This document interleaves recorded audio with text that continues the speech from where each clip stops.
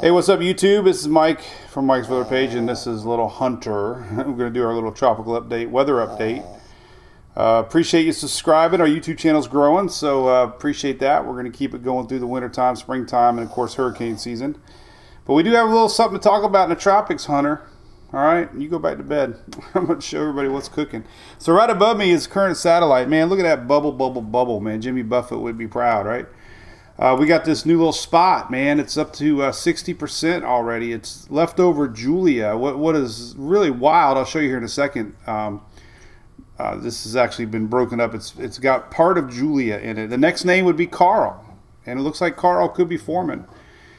Check out this satellite imagery. Holy cow, man. It's uh, really getting it on this morning. Uh, so we're going to keep an eye on it. The, uh, the good news is the models are very confident this thing is going to stay down in the Bay of Campeche without any impacts to the United States. Uh, very high confidence, very high confidence. So could be a Mexico problem, could actually strengthen possibly into a hurricane if this uh, persistent convection keeps up. So we're watching it close. The models aren't showing that much development, but these are the type of systems that you watch in real time, and uh, it could be sneaky. Uh, here are some of the latest tracks these are just starting to come out. Um, basically, uh, it's running into a very strong uh, subtropical jet stream here that's going to pretty much squash any chances, and it's actually going to come back south. Uh, very high confidence of that. So we'll keep an eye on it, but that's the models. Here's some of the latest on tropical tidbits. These are your GFS ensembles. It goes up and comes back. Uh, Canadian ensembles up, comes back. the uh, GF or uh, this is the European. Actually, these are long range. Don't worry about these things, but uh, focus on Invest 93 here. Goes up, comes back. So that's what we got. Here's here's a precipitable water map. I find this very fascinating. So the precipitable water map is the amount of moisture in the air. You can see spin really well. This this model's been around forever, and it really gives you an idea of any sort of spin in the atmosphere with moisture. And you can see this when it when it approached Central America, man, it just got a really strong broad rotation here. You can see it. Uh, it's very impressive satellite here of the water. Um, the Euro here, a tropical tidbit, shows it very well. We rewind, uh, rewind here. When Julia made landfall in Central America, it actually got split up in two, and it became a very broad low. And part of our low ended up here now in the bay. Little bit stayed in Pacific. So it's pretty fascinating.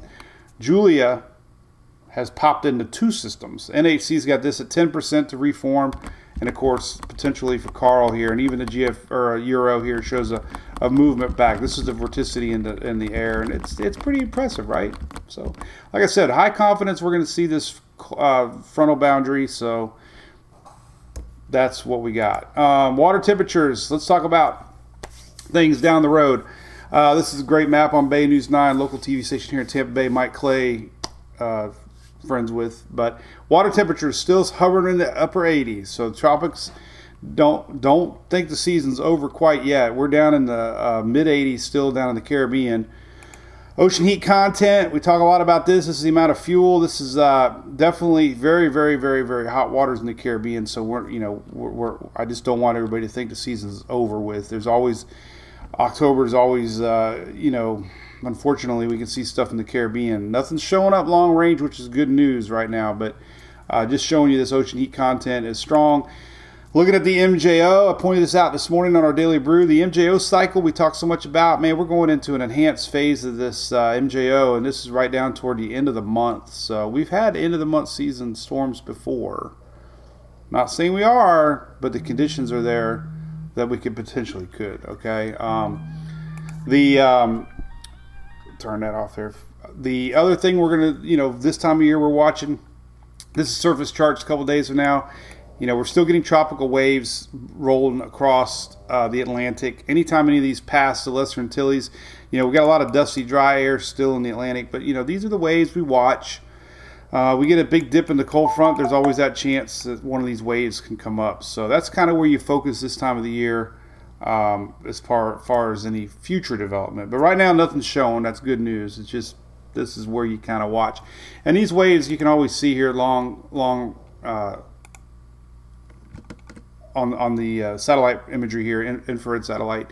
you can see the current wave here entering the islands and then the second wave here. So that's it. But we'll keep an eye. We'll see if we get sneaky little Karl pop up. Um, and uh, like I said, so far it looks like it's going to stay in the Bay of Campeche, lower Gulf. Um, but I'll keep watching as always. All right. See you next time. Have a good day. Bye bye.